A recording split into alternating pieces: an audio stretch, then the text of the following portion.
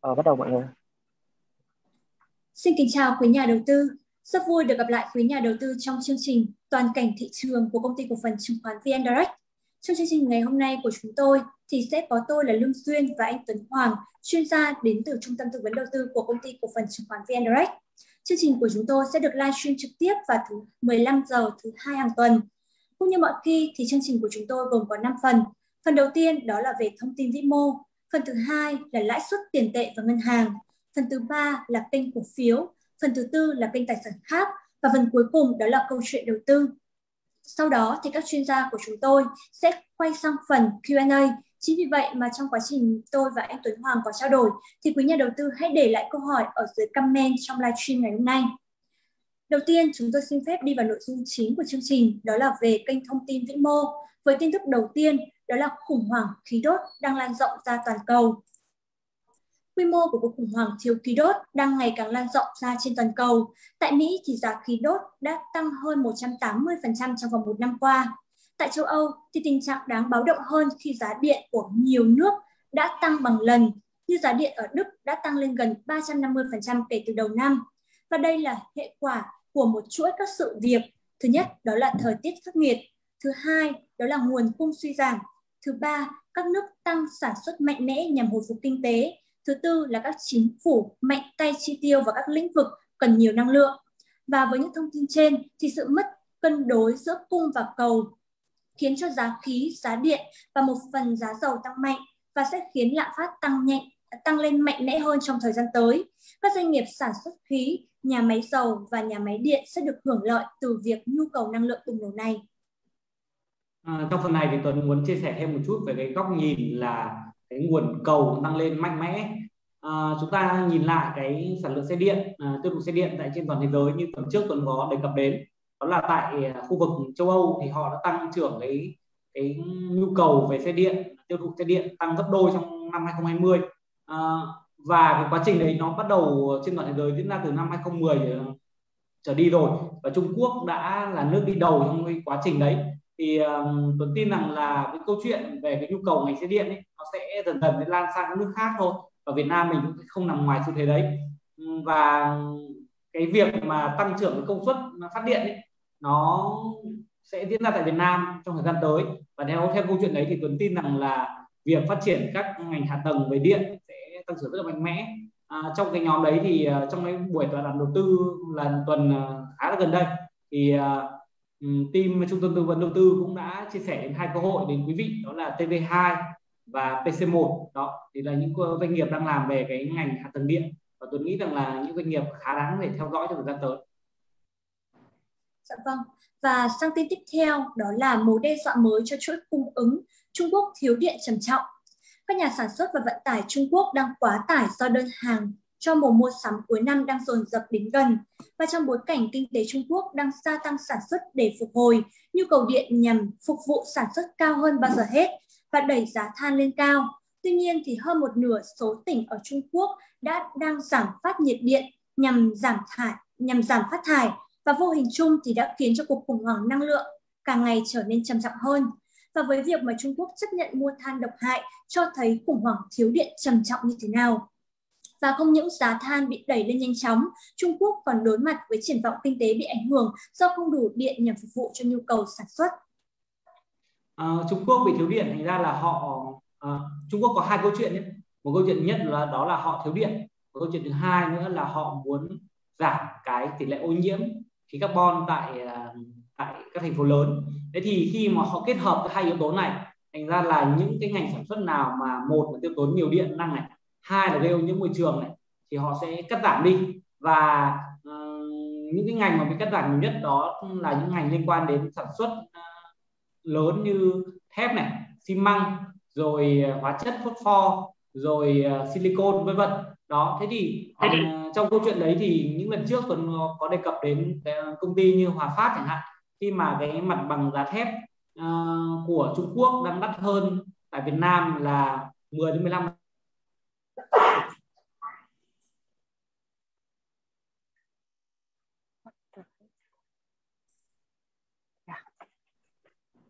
Dạ vâng, và chúng tôi sẽ chuyển sang tin thứ ba trong phần thông tin vĩ mô, đó là GDP quý 3 của Việt Nam giảm 6,17%. Thì GDP, GDP quý 3 của Việt Nam tăng trưởng âm 6,17%, mức giảm sâu nhất kể từ khi Việt Nam bắt đầu công bố tăng trưởng GDP theo theo quý và thấp hơn mức dự báo tăng trưởng 4,2% của ADB rất nhiều. Và mức giảm chủ yếu đến từ sự thu hẹp của khu vực công nghiệp, xây dựng giảm 5% và dịch vụ giảm 9%. Biến chủng Delta khiến cho nhiều thành phố phải ra lệnh giãn cách toàn xã hội, trong khi các cơ sở sản xuất kinh doanh đều đồng loạt đóng cửa các hoạt động nhằm để cầm chừng và tăng trưởng âm đến hơn 6% là dấu hiệu khá bất ngờ cho thấy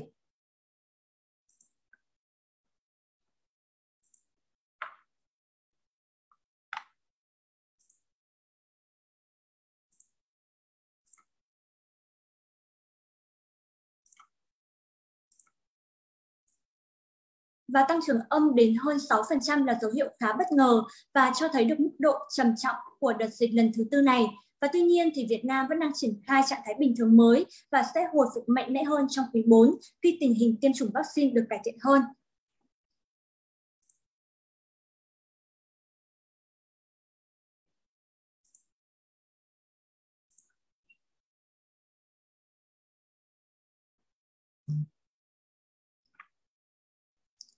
Dạ vâng, và đó tin thứ tư của phần uh, kinh uh, của phần thông tin vĩ mô đó là hàng không đã kích hoạt lại đường bay nội địa từ ngày 1 tháng 10. Bộ Giao thông Vận tải ban hành hướng dẫn tạm thời nhằm mở lại hoạt động vận tải hàng không có hiệu lực từ ngày 1 tháng 10 năm 2021 và tần suất khai thác sẽ được tăng dần theo 4 giai đoạn và được điều chỉnh tùy thuộc vào tình hình của COVID-19 tại các địa phương, đặc biệt là với những hành khách đã tiêm một mũi vaccine sau 3 tuần và tiêm đủ liều hoặc khỏi bệnh COVID-19 trong vòng 6 tháng sẽ không cần xét nghiệm để di chuyển và chỉ đạo cụ thể về việc mở đường bay nội địa và chính sách giảm 50% phí, uh, phí cất hạ cánh là bước đầu tiên cho công cuộc hồi phục của ngành hàng không và du lịch dịch vụ ở Việt Nam. Và cụ thể thì chúng tôi có để ở trên slide về những quy định Ờ, về lộ trình mở cửa của đường bay nội địa của Bộ Giao thông Vận tải thì quý nhà đầu tư có thể nhìn thấy đó là ở giai đoạn 1 thì 10 ngày kể từ ngày 1 tháng 10 thì chỉ định là tần suất trên từng đường bay với từng hãng hàng không vượt quá 50% so với trung bình 10 ngày đầu tiên của tháng 4 năm 2021 và có giãn cách ghế. Giai đoạn 2 đó là 10 ngày sau khi kết thúc. Giai đoạn 1 là tần suất trên từng đường bay với từng hãng hàng không vượt quá 70% so với trung bình 10 ngày đầu tiên của tháng 4 năm 2021 và không phải giãn cách ghế. Và giai đoạn 3 là triển khai sau giai đoạn 2 với chỉ định đó là tần suất trên từng đường bay đối với từng hãng hàng không vượt quá tần suất trung bình 10 ngày đầu tiên từ tháng 4 năm 2021 và không phải giãn cách ghế. Và giai đoạn thứ tư đó là trạng thái bình thường mới với chỉ định đó là khai khai thác trở lại bình thường. Vậy thì với những tin tức này nhưng mà tuy nhiên thì chúng tôi đánh giá ngành hàng không trở lại nhưng mà vẫn khá là chậm. Và đó là chúng tôi vừa đề đề cập qua những thông tin về phần thông tin vĩ mô. Và sau đây thì chúng tôi sẽ chuyển sang phần thứ hai, đó là phần lãi suất tiền tệ và ngân hàng. Với tin tức đầu tiên của phần này, đó là uh, lãi suất vẫn tiếp tục ổn định ở mức thấp. Lãi suất liên ngân hàng qua đêm điều chỉnh trong tháng 9 xuống mức trung bình là 0,65%. Khối lượng giao dịch đạt 110.000 tỷ đồng trên một phiên và thanh khoản hệ thống dồi dào và tăng trưởng tín dụng đến ngày 20 tháng 9 đạt 7,17%. Tuy nhiên thì trước đó đến ngày 31 tháng 8 thì tín dụng toàn nền kinh tế đạt trên 9,87 triệu tỷ và tăng 7,42% so với cuối năm 2020. Như vậy thì dư nợ trên toàn nền kinh tế giảm 23.000 tỷ đồng trong tháng 9 Vậy thì với những thông tin trên thì chúng tôi đánh giá để đạt được mục tiêu tín dụng cả năm là đạt 12% thì còn 5% để điều tiết tín dụng trong quý 4 năm 2021 và ngân hàng nhà nước sẽ tiếp tục duy trì những chính sách tiền tệ nới lỏng. CPI tháng 9 giảm 0,62% so với tháng trước và tăng 2,06% so với cùng kỳ năm 2020 và lạm phát vừa phải tiếp tục tạo điều kiện cho việc giữ vững lãi suất tại mức hiện hành. À, và đó vâng là chúng tôi cái việc à, việc mà cái lãi suất ở tiếp tục ở mức à, thấp ấy, thì cũng sẽ giúp cho cái cái tầng mà tài sản rủi ro nó sẽ chưa bị ảnh hưởng quá nhiều đâu. Thì đấy chính một cái cái lợi thế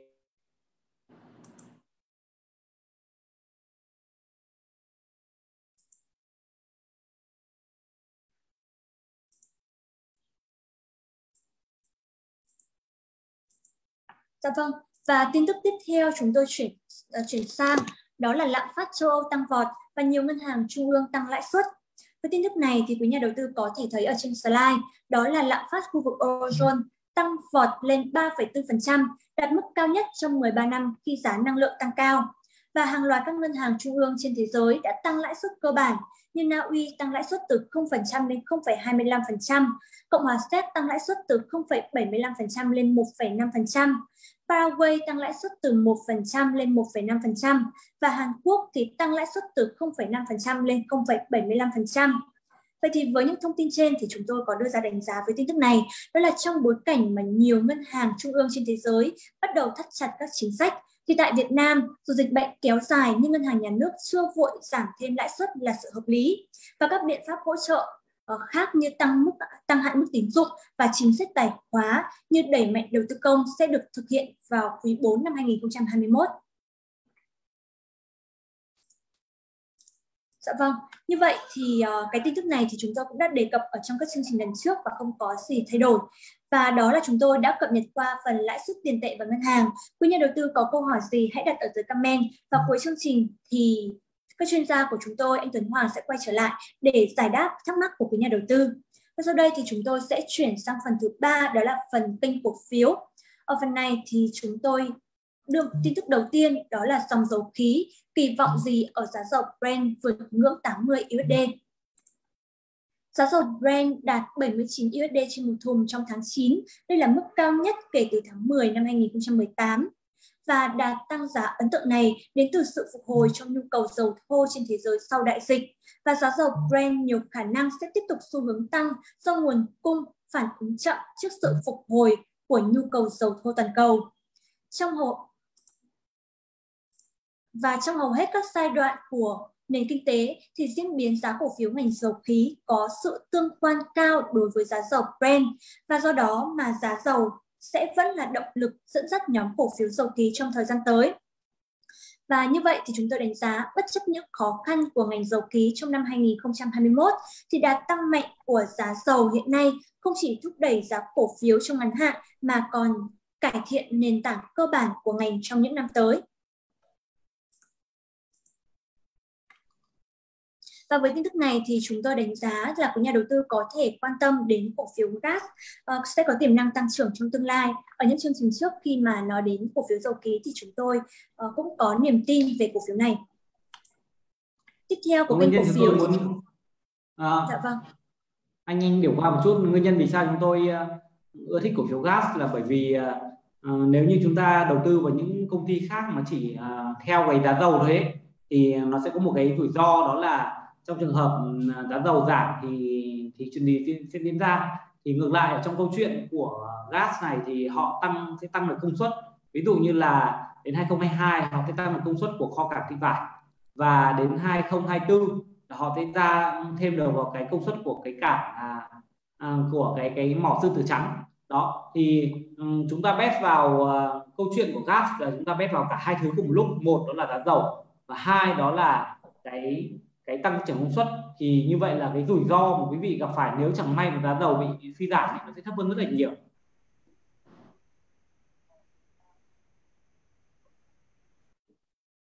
Dạ vâng, cảm ơn anh Tuấn ạ. À, và bây giờ chúng ta sẽ chuyển sang tin thứ hai của kênh cổ phiếu. Tuần này thì chúng tôi có đề cập đến cổ phiếu Pembu Capital tham gia vào lĩnh vực ngân hàng bảo hiểm để tài trợ cho các dự án.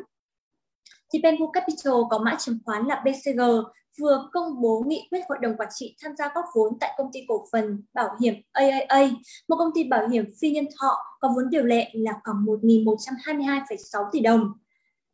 Và dự kiến thì BCG sẽ đầu tư 797 tỷ đồng để sở hữu 71% vốn của AAA và hình thức góp vốn là nhận chuyển nhượng từ cổ đông hiện hữu của AAA và bảo hiểm AAA được thành lập vào năm 2005 và trở thành thành viên của Tập đoàn Bảo hiểm Australia từ năm 2013. Và năm 2020 thì AAA ghi nhận khoản lỗ dòng 109 tỷ đồng, giảm mạnh so với khoản lãi 22 tỷ vào năm 2019 và lỗ lũy kế tính đến cuối năm 2020 ở mức là 863 tỷ đồng. Và trong bối cảnh mà nhu cầu ờ, huy động vốn ngày càng lớn để tài trợ cho các dự án năng lượng tái tạo của BCG thì ban lãnh đạo của BCG cũng đã tiết lộ đó là mục tiêu tham gia vào các lĩnh vực ngân hàng, bảo hiểm là nhằm hỗ trợ cho công ty trong việc huy động vốn và tài trợ cho các dự án.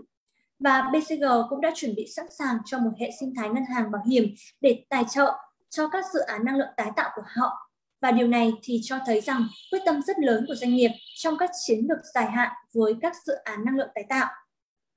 Ngoài ra để phân tích kỹ về mã cổ phiếu BCG thì chúng tôi cũng đã phân tích theo ba chúng tôi cũng đã phân tích theo ba à, theo hai hướng tích cực và tiêu cực đối với mã cổ phiếu này trong chương trình uh, cổ phiếu 360 độ thì quý nhà đầu tư có thể tham khảo lại về mã cổ phiếu BCG trong chương trình của cổ phiếu BCG trong chương trình của chúng tôi. Và tiếp theo của kênh cổ phiếu thì tuần này chúng tôi xin phép được đề cập đến uh, cập nhật đến hiệu quả của danh mục cổ tức thì đến ngày 30 tháng 9 năm 2021 thì tính từ đầu năm 2021 đến ngày 30 tháng 9 năm 2021 thì lợi suất danh mục uh, cổ tức đạt là 12%, tỷ suất lợi nhuận kép tính từ ngày 1 tháng 1 năm 2015 đến hiện tại đạt 19%, vượt trội hơn so với VN Index là 14,3%. Và đó là chúng tôi đã cập nhật xong phần kênh thông tin cổ phiếu. Quý nhà đầu tư có câu hỏi gì hãy để lại ở dưới comment và cuối chương trình thì chuyên gia của chúng tôi sẽ trả lời cho quý nhà đầu tư. Tiếp theo đó là chúng tôi sẽ chuyển sang phần kênh tài sản khác. Đó là chúng tôi sẽ nhắc đến phần kênh bất động sản. Bắc Ninh, Hưng Yên đồng ý góp vốn, vành đai 4 khả thi hơn bao giờ hết. Vành đai 4 qua 4 tỉnh thành đó là Hà Nội, Hưng Yên, Vĩnh Phúc, Bắc Ninh, Bắc Giang và theo đề xuất mới, vốn đầu tư dự án khoảng 96.000 tỷ và giảm 36.000 tỷ so với phương án trước. Và Bắc Ninh, Hưng Yên thì tham gia góp vốn và chia dự án thành 3 phân kỳ. Với sự tham gia này, vốn ngân sách công chiếm đến 50% và rút ngắn thời gian triển khai, tăng tính khả thi khi mời nhà đầu tư PPP đối tác công tư. Và Vingroup là đơn vị lập hồ sơ đề xuất.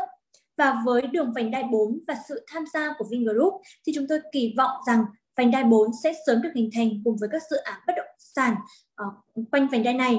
Thì với tin tức này thì chúng tôi cũng đánh giá đó là về triển vọng của các dự án bất động sản ở ven uh, ven Hà Nội, ven trung tâm thì sẽ được uh, có tiềm năng tăng trưởng trong thời gian tới khi mà về việc là cái uh, nhu, nhu cầu của mọi người khi mà việc di chuyển bằng các phương tiện như ô tô trở nên uh, trở nên bình thường hơn thì khi đó thì mọi người sẽ có xu hướng lựa chọn những cái vùng bất động sản mà hướng đến môi trường xanh hơn. Và tiếp theo của phần kênh tài sản khác thì chúng tôi tuần này chúng tôi sẽ cập nhật về tiền số, đó là chính sách của các nước mất thiêng với tiền số. và ngày 25 tháng 9 thì Trung Quốc đã cấm mọi giao dịch liên quan đến tiền số. Khác biệt của lần này so với những lần trước đó là độ rộng của các giao dịch bị cấm sẽ rộng hơn, tức là cấm hết. Và so với các lần chính phủ Trung Quốc đưa ra các quy định hạn chế ờ, về tiền số khác thì biến động của giá tiền số lần này sẽ thấp hơn, chỉ giảm 3,6%. Các lần trước như là từ tháng 5 năm 2013 thì giảm đến 20% và tháng 4 ờ, và tháng 3 năm 2014 thì giảm lên đến là 12% và tháng 9 năm 2017 thì giảm lên đến 7%. Tháng 3 năm 2021 thì giảm tới 8,5%. Và để lý giải cho điều này thì chúng tôi có đề cập đến một số nguyên nhân ở đây. Nguyên nhân đầu tiên đó là do thị trường tiền số hiện tại với sự, với sự tham gia nhiều hơn của tổ chức. Như trước đây thì sự tham gia nhiều hơn của cá nhân. Và nguyên nhân thứ hai đó là nhà đầu tư đã quen với biến số của chính sách. Vậy thì qua những thông tin trên của tiền số thì chúng tôi đánh giá rằng tiền số đã đi sâu hơn vào xã hội thực và các nhà đầu tư tổ chức tham gia sâu hơn và không chỉ là sân chơi của các nhà đầu tư cá nhân nữa và chính sách cấm của các nhà nước chính sách cấm của các nước thì có thể sẽ là cơ hội để mua vào tiền số. À, chúng ta cũng có thêm một chút thông tin nữa đó là à, thông qua thời gian mà Tuấn trải nghiệm trên thị trường chứng khoán ấy thì Tuấn nhận thấy rằng là càng ngày thị trường nó càng à, càng chuyên nghiệp hơn.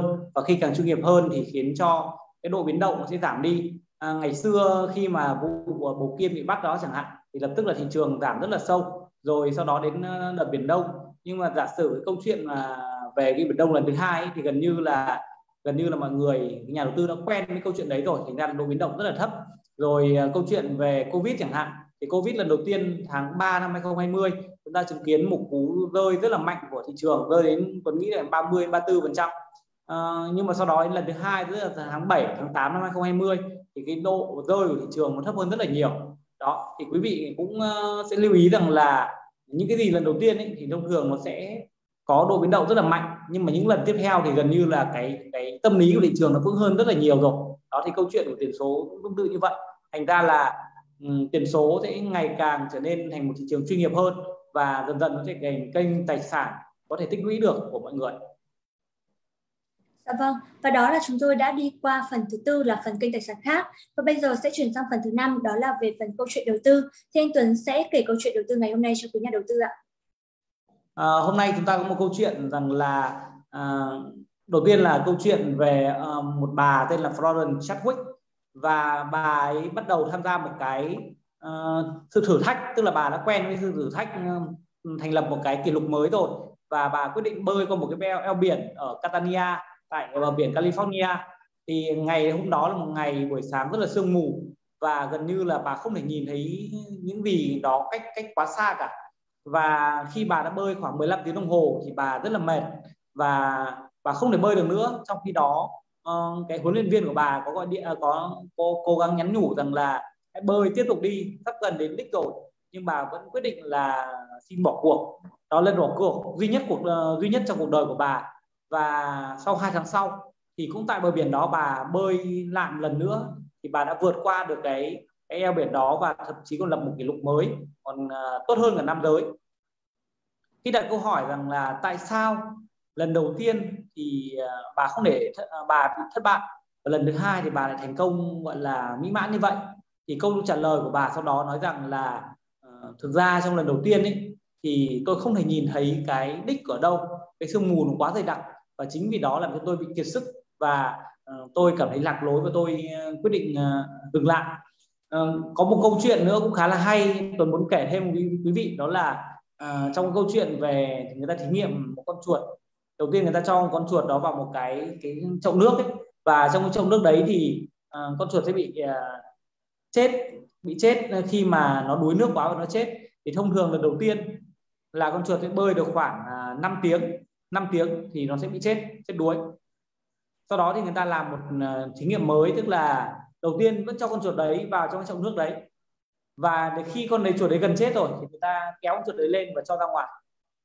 Sau đó thì người ta lại cho vào con chuột đấy để chết lần thứ hai. Nhưng lần thứ hai mọi người biết là mất bao lâu ạ? Mất tổng cộng là 80 tiếng đồng hồ tiếp theo nó mới chết. Nó mới mới chìm nghỉm hẳn. Tức là một thời gian rất là dài, sau đó tính là bằng mấy ngày luôn cái nguyên nhân của cái việc mà con chuột có thể làm được điều đấy thì theo như ờ, người ta nhận ra rằng là con chuột đã uh, nhận thấy rằng là cứ khi nào nó gần chết thì nó được cứu. Thành ra đến lần thứ hai là nó tin rằng là chỉ cần cố thêm một chút nữa thôi sẽ có người đến cứu nó. Đó thì cái ở đây muốn nói đến là cái mục tiêu là một mục tiêu cực kỳ quan trọng. Và khi có mục tiêu càng rõ ràng thì cái việc khả năng hoàn thành hoàn thành được công việc khá là tốt khá là cao. Và thứ hai nếu khi chúng ta ứng dụng nhân đầu tư thì đó là gì? Đó là những công ty mà công ty vĩ đại thì họ sẽ luôn luôn có mục tiêu phát triển dài hạn. Kế hoạch của họ không phải là một năm hai năm mà kế hoạch của họ đôi khi là 10 năm đến à, 20 năm.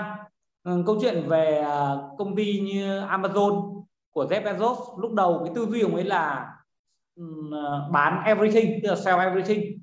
Thì cái cái cái tự quy, quy, quy mô đấy của Jeff Bezos ông đã nhìn thấy từ lúc mà ông bắt đầu bắt đầu thành lập công ty rồi chứ không phải là sau này ông mới có. Đó. Rồi những công ty tầm thường thì thường chỉ nhìn một hai năm thôi và um, nhìn theo kiểu cơ hội thị trường.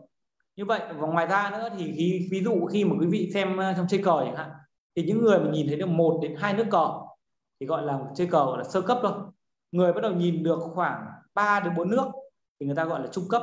Và người nhìn bắt đầu từ 5 đến 6 nước cờ thì được gọi là cao cấp đó thế thì uh, khi mà quý vị chọn lựa chọn doanh nghiệp ấy, thì quý vị ngoài việc chúng ta nhìn cái khó khăn biến động trong ngắn hạn thì chúng ta cần phải nhìn cái tầm nhìn của doanh nghiệp trong dài hạn đó chính là việc mà uh, chúng ta thể chọn được doanh nghiệp vĩ đại thì đấy là một vài quan điểm của Tuấn về câu chuyện ờ, về tìm kiếm doanh nghiệp vĩ đại trong cái ngày hôm nay dạ Vâng, cảm ơn anh Tuấn.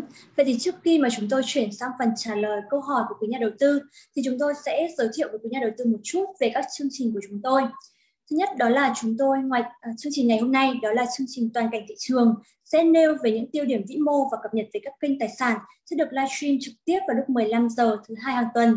Chương trình thứ hai của chúng tôi đó là chương trình tọa đàm đầu tư. Ở chương trình này thì chúng tôi sẽ dành riêng cho khách hàng của VN Direct.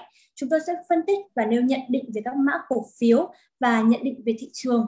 Chương trình của chúng tôi thì sẽ được phát sóng vào lúc 15 giờ 30 phút thứ tư hàng tuần. Và chương trình thứ ba của chúng tôi đó là chương trình cổ phiếu 360 độ. Ở chương trình này thì chúng tôi sẽ phân tích về một mã cổ phiếu theo hai phương diện đó là tích cực và tiêu cực.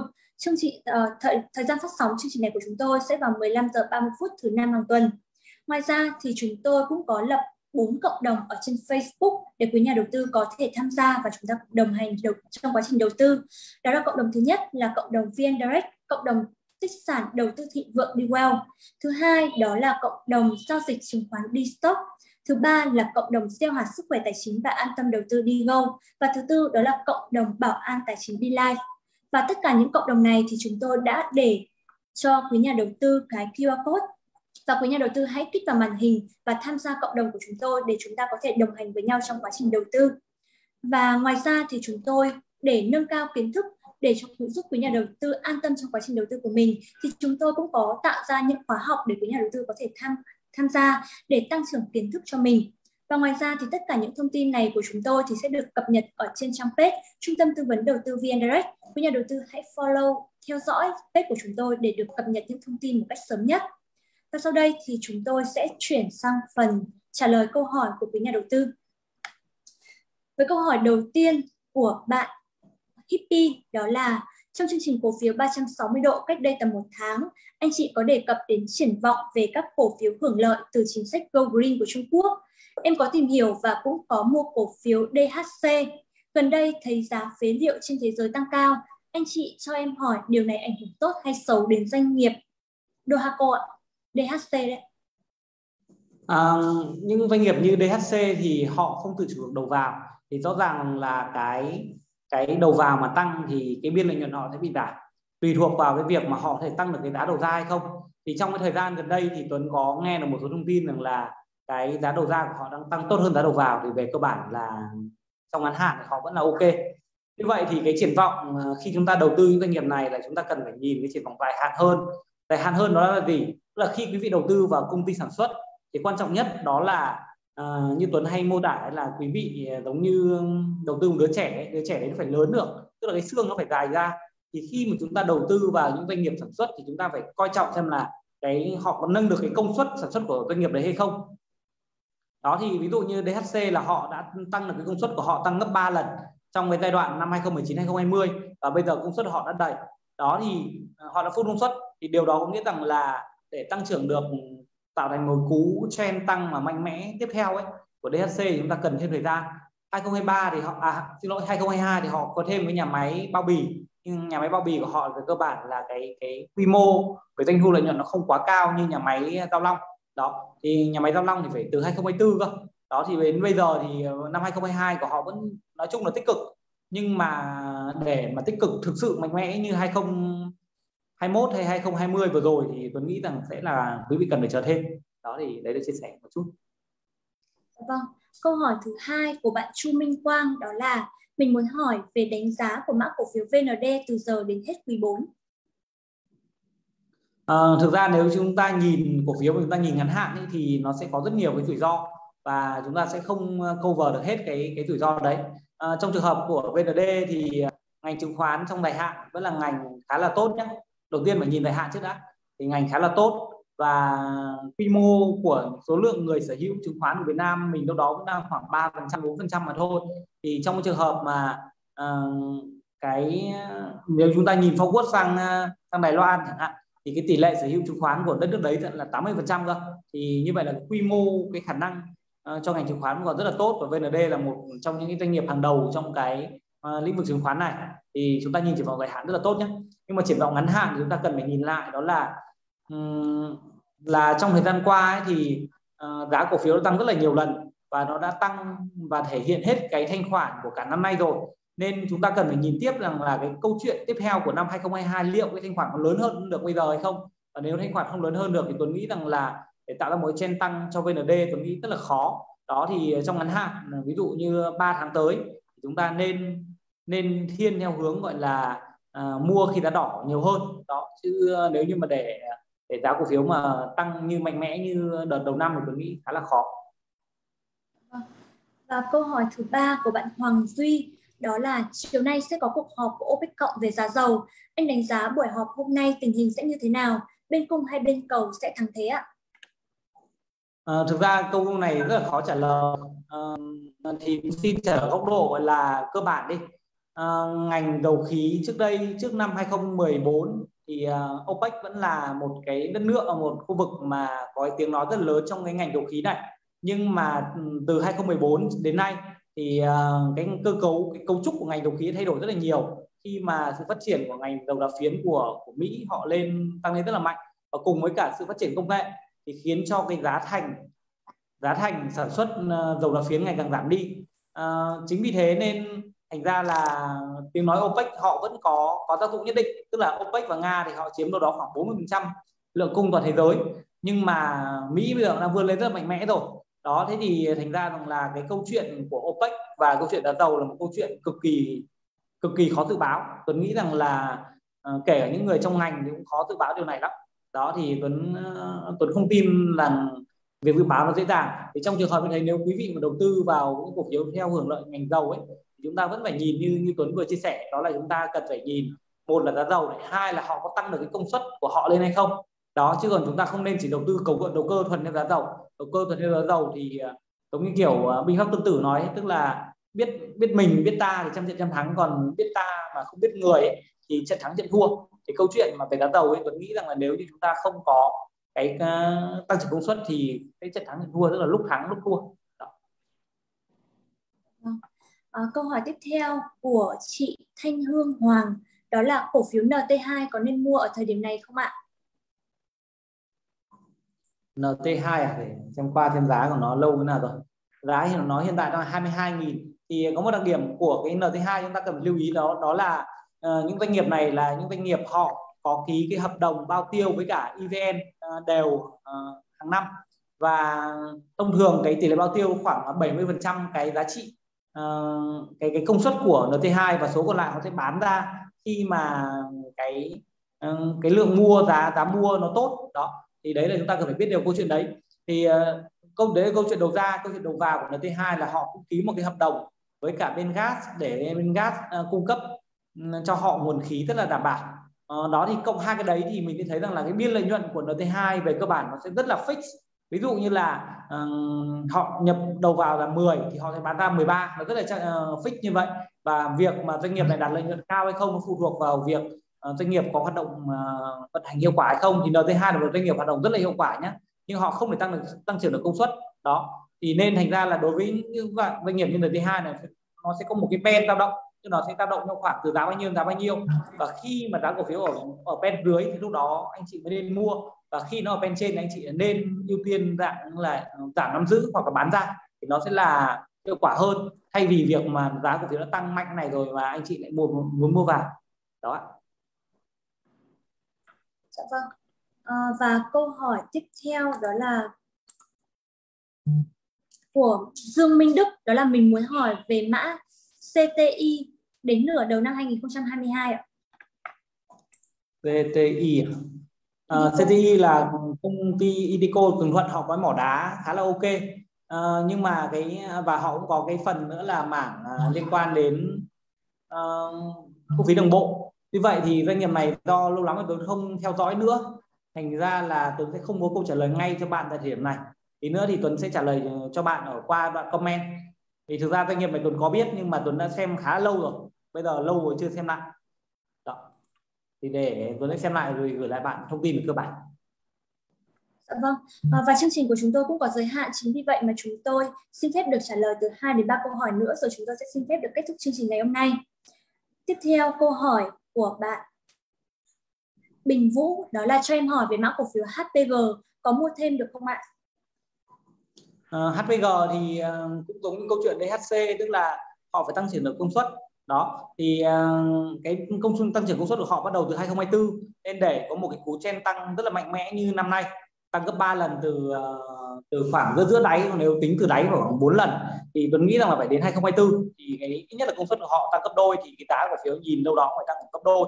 Đó thì đấy là 2024 vì vậy thì à, trong ngắn hạn tức là trong năm nay này thì họ vẫn mở rộng thêm một vài công suất nữa và đồng thời với đó là việc mà Trung Quốc họ đang giảm sản xuất thép thì khiến cho cái giá thành thép của Trung Quốc đang đắt hơn Việt Nam đâu đó khoảng à, 10-15%, chưa kể là Trung Quốc giảm cái việc xuất khẩu ra trên thị trường thế giới.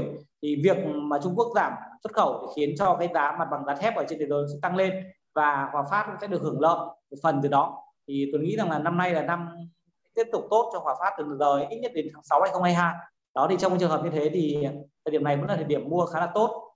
Nếu chúng ta nhìn cái lợi nhuận của Hòa Phát năm nay là khoảng 30.000 tỷ đi thì à, nếu PE của Hòa Phát là 9 lần thông thường khoảng 9 lần thì à, cái giá của Hòa Phát đâu đó khoảng 60 62 nghìn. Đó chưa kể rằng là uh, khi mà hoàn thành được cái dung quất 2 thì uh, Hòa Phát sẽ vào lọt vào top các công ty lớn nhất thế giới khoảng top 30 công ty sản xuất thép lớn nhất thế giới. Thì cái định giá Hòa Phát theo Tuấn thì có thể lên được khoảng 11 lần. Thì như vậy định giá của Hòa Phát sẽ cao hơn nữa. Đó thì chúng ta nghĩ rằng thời điểm này khá là tốt để tích lũy thêm. Vâng. Ờ, và một câu hỏi nữa của bạn Hippie đó là anh Tuấn cho em xin gợi ý về việc phân bổ cổ phiếu và tiền mặt trong giai đoạn thị trường khó khăn này ạ. À, thị trường khó khăn thì ờ, thực ra là Tuấn nghĩ rằng là khi mà thị trường khó khăn là lúc chúng ta nên mua cổ phiếu. Đó thì chúng ta cần phải biết điều đấy. Còn uh, có một cách rất đơn giản đó là bạn có thể uh, đi theo con đường gọi là 50 50 đi. Tức là uh, 50 50 chỉ là nói đơn giản thôi còn nếu như Tuấn thì Tuấn sẽ phân bổ ít nhất là 70 phần trăm một cổ phiếu và 30 phần trăm là trái phiếu chẳng hạn như thế. Thì khi mà chúng ta phân bổ thế thì giả sử khi nào mà thị trường tăng lên nhiều quá và khiến cho cái tỷ trọng cổ phiếu của bạn lên khoảng 75 hoặc 80 phần trăm chẳng hạn tức là cứ một quý chúng ta review một lại một lần nếu như mà cái tỷ lệ cổ phiếu lên khoảng 80 phần trăm thì bạn bán bớt 10 phần trăm đấy đi giả sử tỷ lệ 70 30 nhé bán bớt bán bớt ờ, uh, 10 ờ, phần trăm cổ phiếu đấy đi để chuyển sang mua trái phiếu. Như vậy là tự nhiên là bạn sẽ bán được một loạt cổ phiếu ở vùng giá rất là cao. Và chẳng may nếu như mà thị trường cổ phiếu giảm thì ờ, một thời gian sau thì giá à, thì cái số lượng cổ phiếu của bạn xuống còn khoảng à, 50 phần trăm à, 60 phần trăm chẳng hạn thì bạn lại mua chuyển bớt tiền từ trái phiếu mua thêm vào thì bạn sẽ mua được ờ, cổ phiếu giá thấp và bạn sẽ bán bớt ở phần trái phiếu đi. Đó, thì đấy là quan điểm đầu tư ờ, tức là cách phân bổ rất đơn giản như vậy. Dạ vâng. À, bạn Thùy Dương có một câu hỏi về mã VND thì ở trên anh Tuấn đã trả lời rồi. Thì bạn có thể quay trở lại để xem, tua lại để xem lại cái phần câu trả lời của anh Tuấn ạ. Và đó cũng là cái câu hỏi cuối cùng trong chương trình ngày hôm nay của chúng tôi. Còn lại thì chuyên gia của chúng tôi xin phép được trả lời trực tiếp ở dưới comment của quý nhà đầu tư. Trong quá trình mà chúng tôi có làm chương trình thì có mắc một vài lỗi về kỹ thuật thì mong quý nhà đầu tư thông cảm cho chúng tôi. Cảm ơn quý nhà đầu tư đã theo dõi chương trình ngày hôm nay. Xin chào và hẹn gặp lại vào 15 giờ thứ hai tuần sau. Xin chào và hẹn gặp lại.